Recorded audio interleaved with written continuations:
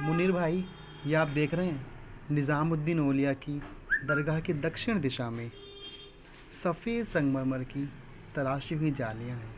इन जालियों के पार इस खूबसूरत मकबरे में कौन हो सकता है? लगता है इस मकबरे में कोई शहज़ादी आराम फरमा रही है।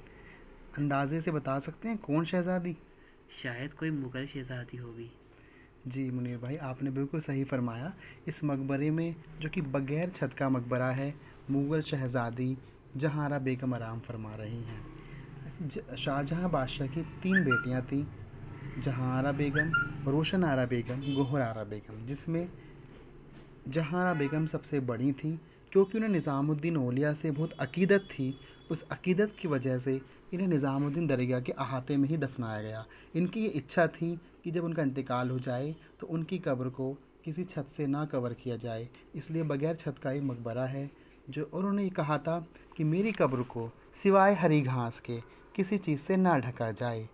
मिस नाचीज़ के लिए, इस अदना से इंसान के लिए केवल हरी घास ही कब्र को ढकने के लिए काफ़ी है। आप देख सकते हैं, आज बड़े सुकून से वो आराम फरमा रही हैं।